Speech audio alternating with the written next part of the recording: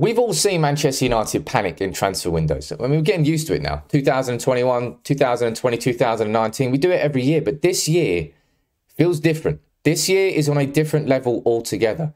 Now, today is all about that protest against the Glazers at Old Trafford. I'll be there. You do whatever you can, online and offline. Today, we're playing Liverpool, and it's the, not the most important thing today. It's about that fight against the Glazers, and I would encourage you to do whatever you can, online and offline to support that. But at the same time as all of this is going on, it feels crazy what's happening with Manchester United in the transfer window. What I'm going to try and do in this video is summarize everything with uh, with Casemiro, with Antony, with Gakpo, and the De Jong situation, which still isn't closed. It's a madness, and I'll try at my best to cover it in 10 minutes for you. So please drop a like on the video. And as I say, if you can, be at Old Trafford, be at Old Trafford.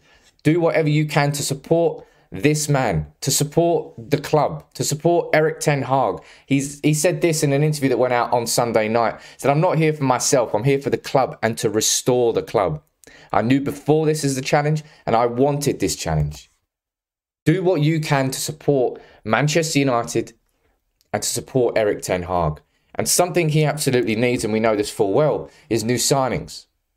And this summer has been uh, months of negotiating and haggling over what seemingly small amounts. But then all of a sudden, Manchester United have gone into an absolute free for all at the end of this transfer window. Where's this money come from? Hmm, the money's always been there. It's almost like the Glazers are panicking. And they are. But let me please try and summarize this all for you because I, I, I, it's really hard to get my head around. So I imagine you're in the same boat. Now, Casemiro He's expected to be unveiled at Old Trafford in a similar sort of fashion to how Rafael Varane was unveiled. Now, we all know full well, I mean, I do for sure. This is an incredible signing. It really is. I know it on the surface you might look at this and go, and there are there are fair concerns I think about Casemiro because of his age, um, which I don't particularly think is a massive concern. But that's that's I'm just reiterating what fans are saying because of the wages, because of how late in the window we've done it.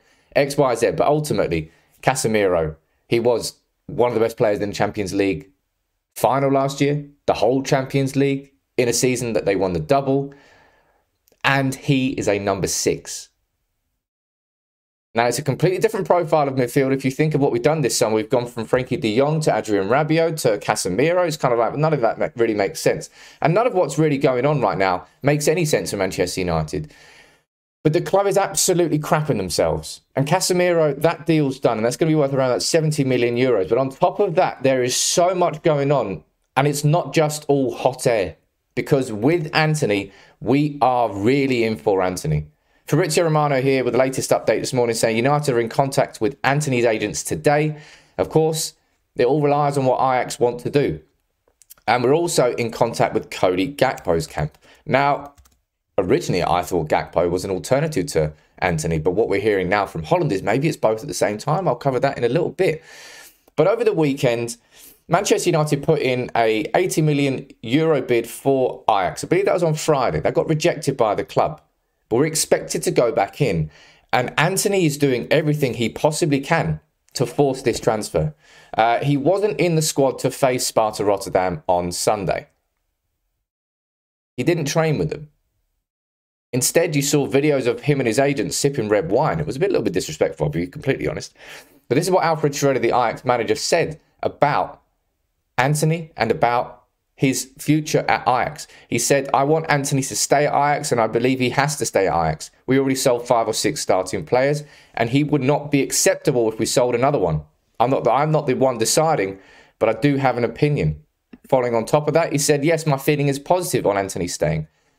We are playing Champions League football. I don't think United are playing Champions League football. Throwing out shade there. I mean, he's not wrong. But uh, yeah, Antony will join Manchester United without Champions League football because we're Manchester United and because we've got Erik Ten Hag.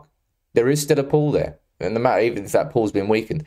And I spoke about this Antony deal on Twitter over the weekend, and I've got into a bit of, no, I wouldn't say debate, but I got into a conversation. Because this is absolutely true. It is outrageous that we're going to pay 100 million for Antony. He is not a 100 million euro signing. And earlier this summer, we were in for Darwin Nunez. Now, I think if, if even if we had 100 million off on the table, that Nunez would have chosen Liverpool. And I don't think any United fans can really argue otherwise. But at that point, we weren't willing to take that risk on Antony. and all of a sudden, we were willing to take that risk.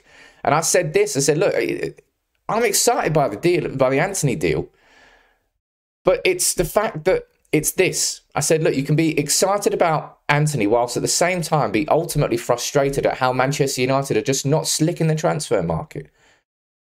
We've been poor in that area for years and years and years.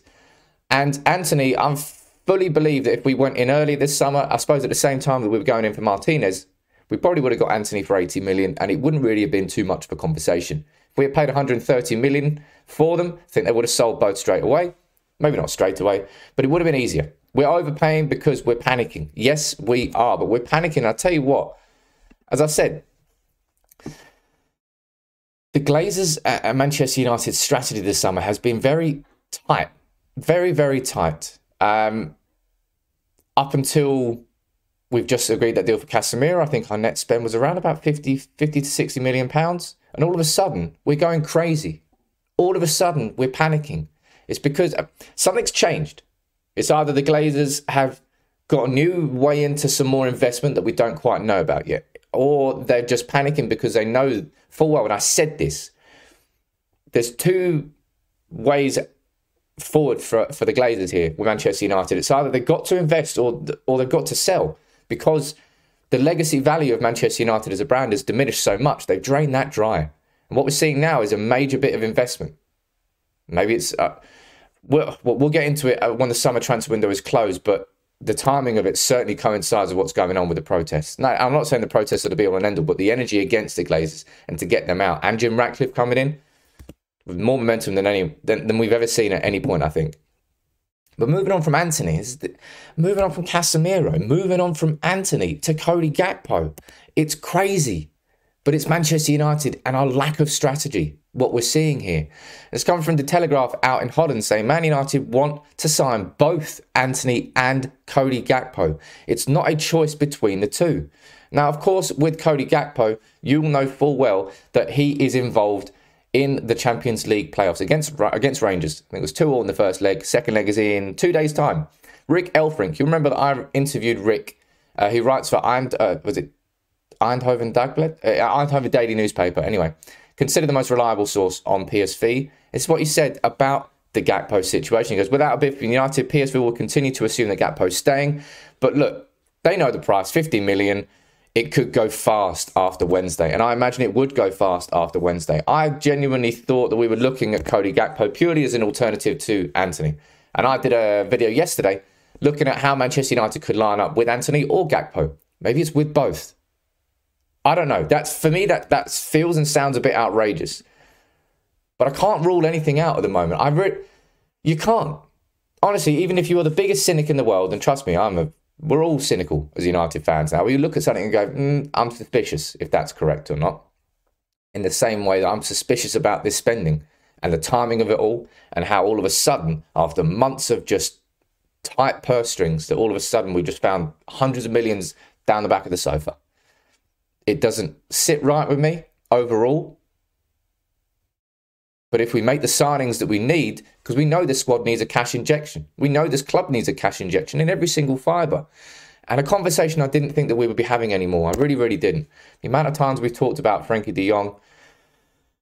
Ah, I mean, I'm sure there are loads of videos that people can pull up about Frenkie de Jong that will make me look stupid, but uh, Manchester United have kind of been made to look a little bit stupid. Now, Simon Mullock uh, from the Miller, I tell you from the Mirror, sorry. I tell you what, Simon Mullock this summer, he's he's certainly got some sources inside the club. Uh, probably at the start of the summer, you would have just completely dismissed anything he was saying, but he's been accurate quite a few times in recent weeks. So he, I just wanted to run through this article he did yesterday, saying United are looking to complete another three transfers, and Frenkie De Jong, you can see, is the first name he mentions there. Frenkie De Jong is also being mentioned out by the Telegraph and Marcel van der Kraan saying that Manchester United will try again to sign Frenkie de Jong. Now, I know you're exhausted and tired from this conversation, but because Jules Koundé is not currently a registered Barcelona player, Barcelona still need to sell. Now, Frenkie de Jong played yesterday, started yesterday, played 85 minutes, I believe, in their 4 1 win over Real Sociedad. A mixed bag. A very mixed bag from a player who has been absolutely on the fringes of that Barcelona team, and I don't need to explain that in any more detail. But Barcelona still need to raise money. Now, it's not just with Frenkie de Jong that they could raise money. You see the names on this list Samuel Umtiti, Martin Braithwaite, Pierre Emerick Aubameyang, Memphis Depay, Sergiño Dest. There's five names there that Barcelona could sell, and there's a sixth name. And we know that, and we've known that for a long, long time. But according to reports in Holland and in, in England, the Frenkie de Jong situation is not dead. Now, you'll see for well that I've mentioned this name at the end of the video. For the life of me, I don't, surely after all of this, are we going to get Frenkie de Jong that late in the window? I don't personally think so, but I'm also, man, that's a pipe dream, right? Casemiro and de Jong. Well, what's going on? Uh, honestly, what is going on? I don't know. Once this transfer window is over, we'll be able to look back and try and assess. But this summer has been, well, it's been pure Manchester United. It's what I hoped had changed, ultimately, what hasn't changed. And United are panicking at the end of this window, and we're panicking big. Casemiro, Antony, Gakpo, De Jong. Where does it end? Where does it stop? Who, who's coming in? I've no idea what our squad's going to be like in nine days' time. I seriously don't because I did not think that Casemiro would be part of it 72 hours ago. Lo and behold, here we are. But remember that about what the focus is today. It is these protests and this march against the Glazers before the Liverpool game. Do what you can online and offline. I've been doing what I could do for years and years and years. So you don't have to tell me about the importance of this march. Do what you can.